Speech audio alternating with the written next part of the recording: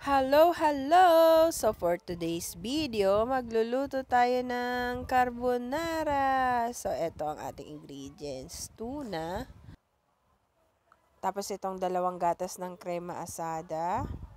Hmm, kailangan dalawa, wag natin tipirin. Tapos chicken cream. Ayan, tapos ayan, bawang, sibuyas, tapos mushroom. So, ayan, at magigisa na nga po tayo. Hindi ko na po bibidyohan kung paano ko ibabagsak yung sibuyas at bawang. O, ayan, at dahil mahirap mag-video ng naka one hands, okay? O, ayan, ganyan-ganyan lang muna tayo, mga beshi, mga mamshi. So, ayan guys, at ibabagsak na natin ang tuna. May pag ganun pa eh, no? O, ayan guys. At ayan nga lang ang ating ilalagay na ingredients. Tuna, but ayan ay napakasarap. Kahit yan lang yan.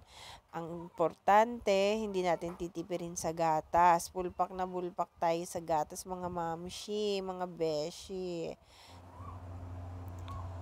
At eto na nga at atin nang ilalagay ang gatas. O ayan guys. So ayan buo-buo pa nga ang cream of chicken. So for today's video guys, ayan ang ating secret ingredients. Ayan po para sa akin po ha.